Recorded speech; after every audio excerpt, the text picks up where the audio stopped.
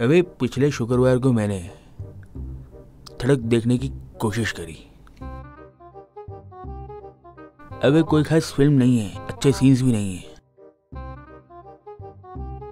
अबे, हमारा पैसा डूब गया है। वही पुराने करेक्टर वही पुराने गाने झिंग झिंग झिंगाट झिंग झिंगाट झिंग और वही सेलिब्रिटी के बच्चे स्टार किड्स अबे, शिकायत नहीं है। अबे कॉपीड फ़िल्म में इतना तो होगा ही। अबे, अजीब सा डायरेक्टर है करण जौहर, अजीब सा। अबे, वही गंदी एक्टिंग फिर भी फ़िल्में चल रही हैं। तो कितने स्टार दिए तुमने? तीन स्टार